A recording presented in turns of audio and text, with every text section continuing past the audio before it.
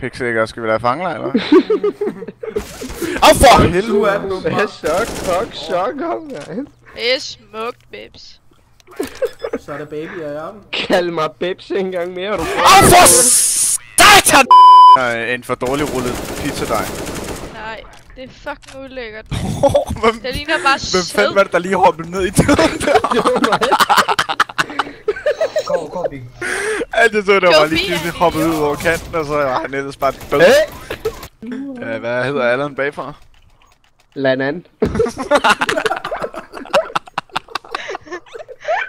Nalla, Han er Nallas for helvede. Nalan. råber du så? Ja, for altid. Så må du spise Han er der. måltid. Ikke. Godt, Kallan. Allan. Kallan. Gørling. Var sådan mega... Hun gør, nej. Det var Jeg mærkeligt. skulle tage bomben, så blev kraften med 3 tunder. Og jeg troede altid, jeg sagt, at han var søgt efter bollerne, men det var hjælp summeren, ikke? Kom nu, Bondik, for helvede, mand. Ja, det hjælper da også på træning at drikke. Ja.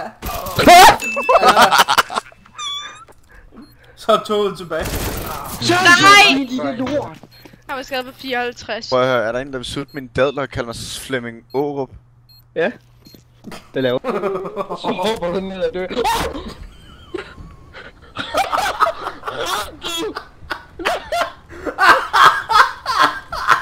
Nej! Nej! Nå! Åh! Lidt tilbage. Hvad kalder man et par tyrkiske bryster? Kebabser? Det. Det er da- Funny, funny. Hvor fanden er den sidste? Han er på B, B. Er du sikker? Ja.